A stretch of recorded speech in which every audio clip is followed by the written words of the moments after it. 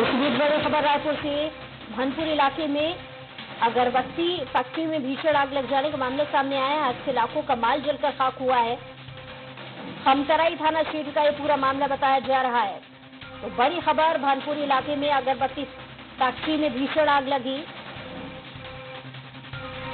तो राजधानी के भनपुरी इलाके की अगरबत्ती फैक्ट्री में आग लगी है। आग पर अब तक नहीं पाया गया काबू। दमकल की 10 से ज़्यादा गाड़ियाँ आग बुझाने में जुटी हुई हैं।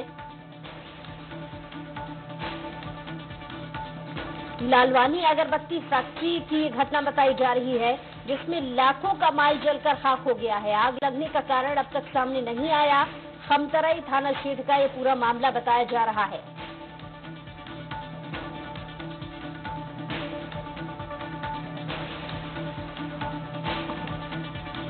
तो आग को बुझाने की कोशिश अब भी की जा रही है, लेकिन कारण अभी तक सामने नहीं आए हैं और साथ ही लाखों का सामान जलकर खाक हो गया।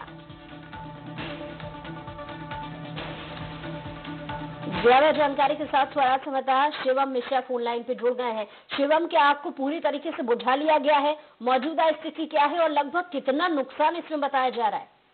अच्छा बिल्कुल देखिए, जिस तरीके से खमतरा इलाके के हनुमान मंदिर गली स्थित ललवानी, अगरबत्ती फैक्ट्री में देर रात आग लगने की सूचना पुलिस को प्राप्त हुई थी। सूचना मिलते ही पुलिस की और दमकल की टीम वहाँ पर मौके पर पहुँच गई और मैं बताना चाहूँगा कि रात दो से तीन बजे की ये घटना है, जो अब तक आग पर काबू नहीं पाया गया अगर मैं बात की जाए अब तक साढ़े आठ बजे की अपडेट की तो साढ़े आठ बजे तक पुलिस का ये कहना था कि अब तक आग पर काबू नहीं पाया गया है और आधा दर्जन से अधिक दमकल की गाड़ियाँ वहाँ पर मौके पर मौजूद है, जो अभी भी आग बुझाने पर लगातार लगे हुए हैं। आग का कारण क्या है, ये अब तक स्पष्ट नहीं हो पाया है, लेकिन आग को देख करके ये अंदाज़ा लगाया जा सकता है कि लाखों का नुकसान ज़रूर हुआ है। लगातार इस मामले पर पुलिस की टीम बनी हुई है और अग्रिम जाँच की जाएगी। जाँच के बाद ही कुछ कह पाना स्पष्ट रूप से ठीक रहेगा।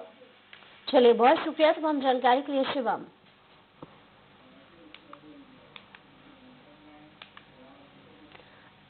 आओ गांधी को